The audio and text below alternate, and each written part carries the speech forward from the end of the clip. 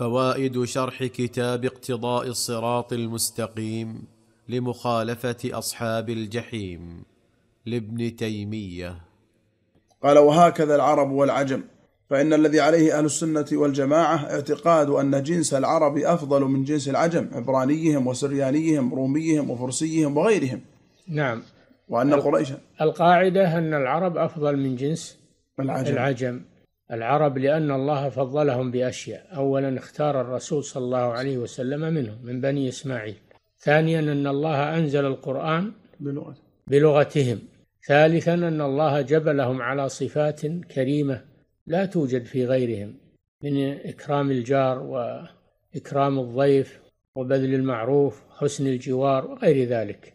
فلا شك أن لا شك أن جنس العرب أفضل من جنس العجم. وإن كان قد يكون في جنس. في من أفراد العجم من هو خير من أفراد العرب؟ هذه قاعدة معروفة ومضطردة. فلا يفتخر بالعرب مطلقا ولا يذم العجم مطلقا وإنما لا بد من التفصيل.